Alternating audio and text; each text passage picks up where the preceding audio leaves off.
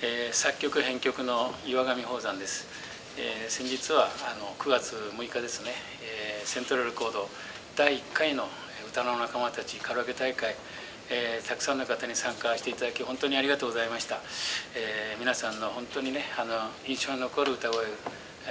ー、心に残っております、えー、それから会場の皆様ありがとうございました。それから